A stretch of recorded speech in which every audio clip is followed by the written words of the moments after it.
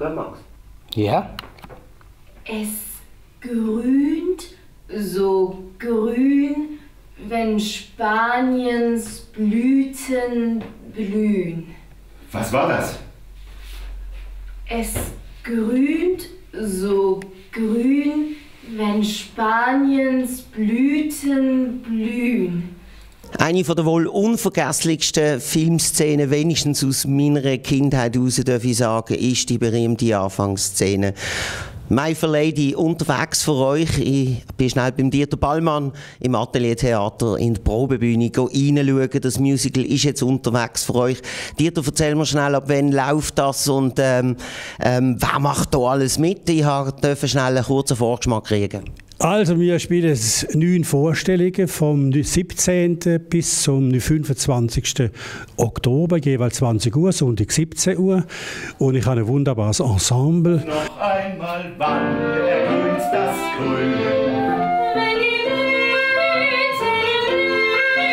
Blüten Und was macht dann das Grün?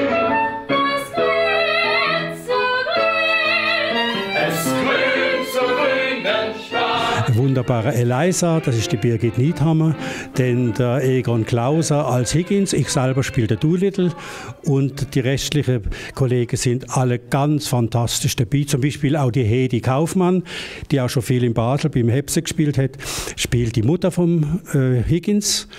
Und die anderen Rollen sind also top besetzt mit einer wunderbaren Musikgruppe. Und also wir spielen eine kleine Fassung, aber mit großen Leuten. Jetzt hast du mir gerade das Stichwort gegeben, ich wollte schnell etwas dazu fragen. Es ist immer schwierig, so ein grosses Musical in einer kleinen Fassung äh, auf die Bühne zu bringen. Wie habt ihr euch hier an der Arbeit gemacht? Ich habe gesehen, Barbara Kleiner in der musikalischen Leitung, denke auch eine Top-Besetzung. Barbara Kleiner hat eine kammermusikalische Fassung geschrieben, also nicht für ein großes Orchester, sondern für weniger Musiker. Das ist kein Nachteil. Im Gegenteil, Es hat total Charme, also was man gehört hat. sehr viel Charme und äh, es funktioniert also perfekt auch mit weniger Musiker, muss ich sagen.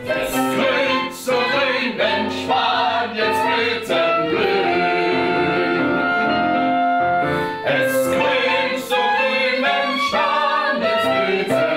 Dann möchte ich da gar nicht weiter drüber schwätzen, sondern euch nur noch einladen, unbedingt eine von diesen neun Vorstellungen besuchen. Ein Klassiker, der einfach auf die Bühne gehört und denke, es ist eine tolle Sache, dass ihr das macht. Gratuliere jetzt schon. Toi, toi, toi. Danke.